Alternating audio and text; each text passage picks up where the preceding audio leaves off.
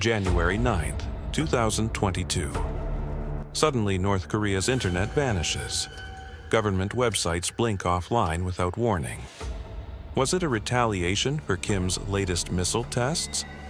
Experts suspect a massive cyber attack, maybe by a rival government. But the truth? A single hacker in pajamas with a grudge. Why did he do it? And how far was he willing to go to make North Korea pay? One year earlier, an American cybersecurity researcher sits at his desk scrolling through code. He's known only by his handle, P4X.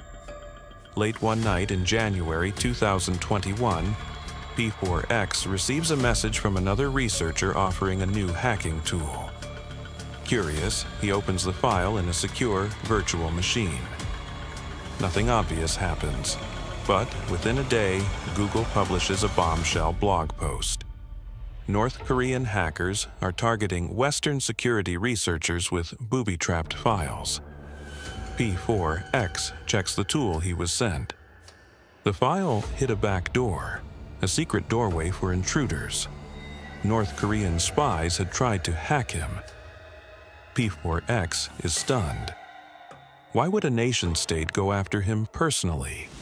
He had narrowly avoided disaster by isolating the malware, but the attempt left him shaken. He soon learns he wasn't the only target.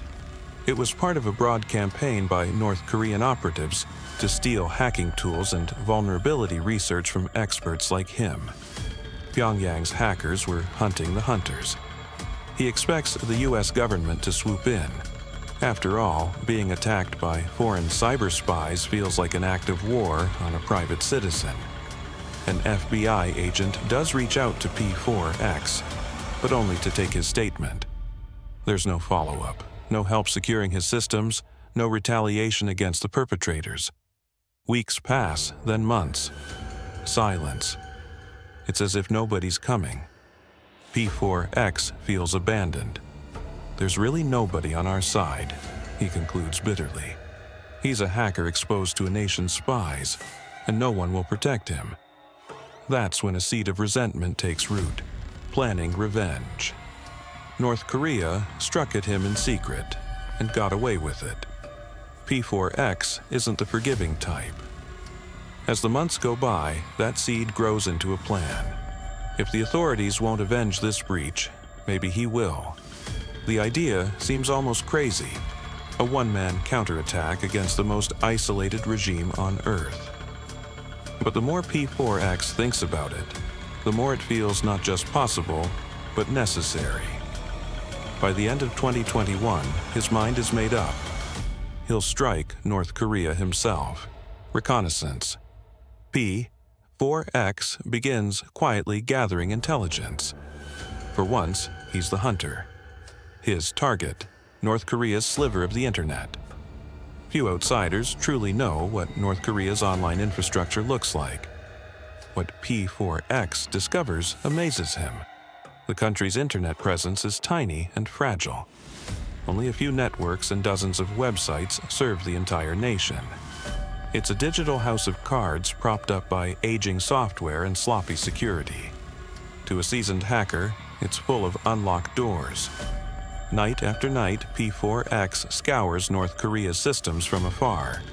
He probes servers, tests doors and windows in the code. Before long, he finds what he needs vulnerabilities, and plenty of them. In fact, they're not even new vulnerabilities. They're known flaws that North Korean sysadmins never bothered to patch. Old versions of Apache and other software rife with holes. An outdated Nginx web server bug that collapses the system if you simply send it a weird header. It's pretty interesting how easy it was to actually have some effect in there, he notes. The more he maps out their network, the more confidence he gains.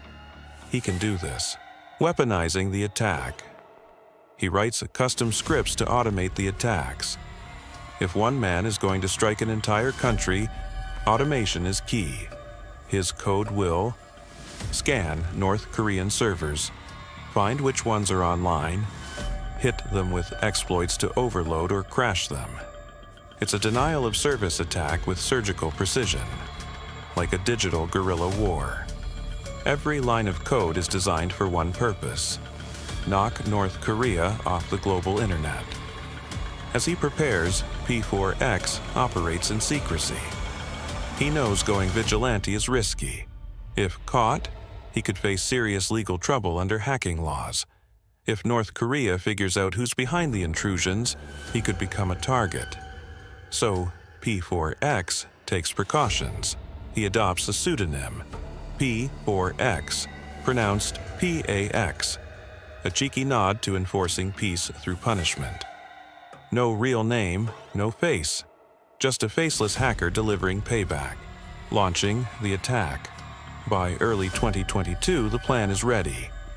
P4X sits at his computer, likely wearing that same uniform of t shirt, pajama pants, and slippers. This ordinary looking guy has a not so ordinary mission. He double checks his tools. The code is loaded on his laptop and some rented cloud servers. The targets are lined up. His heart pounds with adrenaline and defiance.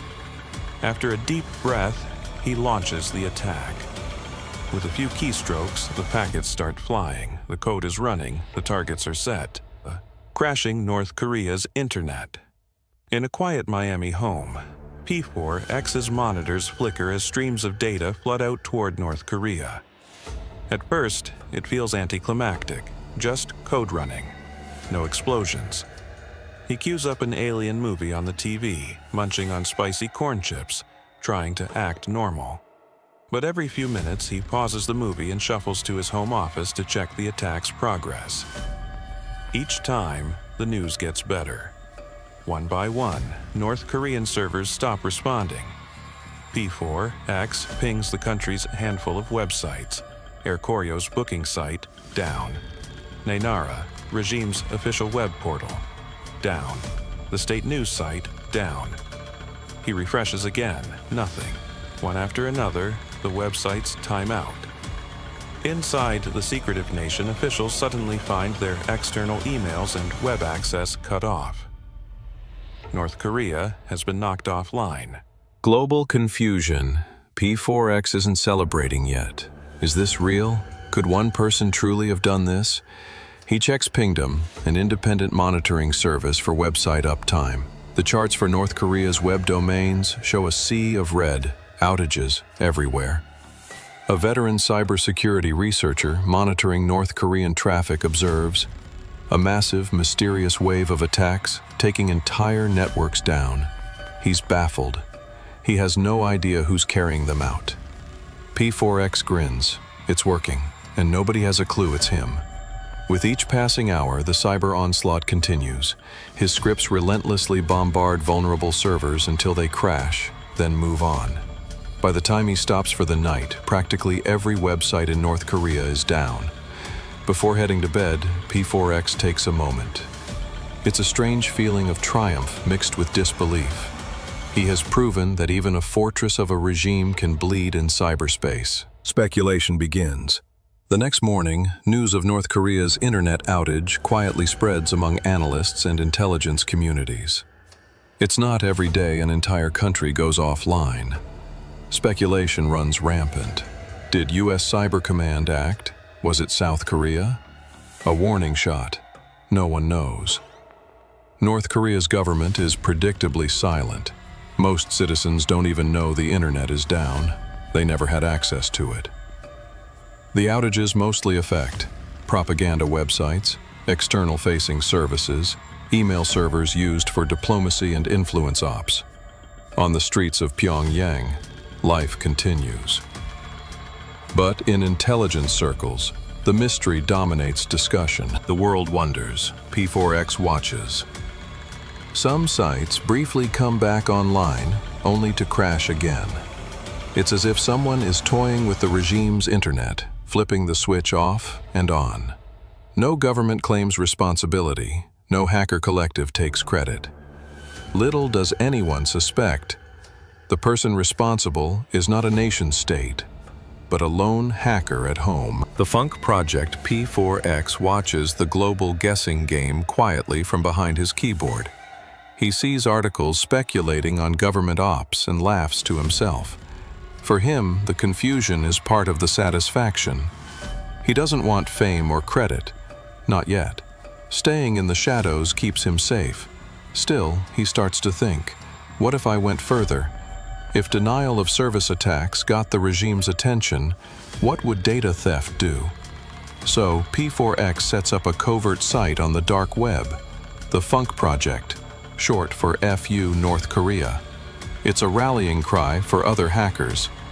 This is a project to keep North Korea honest. He's effectively recruiting. One hacker took the country offline. A handful could dig deeper. A vigilante cyber army. Not everyone supports him. Some worry his actions may interfere with intelligence operations. Others point out he's breaking the law. Under the Computer Fraud and Abuse Act, hacking is hacking, even against North Korea. But P4X doesn't care. He's angry. He feels justified. And he's not scared. My conscience is clear. He insists this isn't about regime change, he just wants to send a message. And he has. The legacy of P4X. So far, no law enforcement has knocked on his door. North Korea hasn't identified him. He remains unpunished, unidentified, unbowed. His fight continues in the shadows. What's next? North Korea doesn't know who's hitting them. Law enforcement hasn't come knocking. But how long can one hacker stay invisible in a war this dangerous? One man in pajamas brought an entire regime to its knees. But what happens when thousands of criminals don't just take down websites? They sell your identity like a product.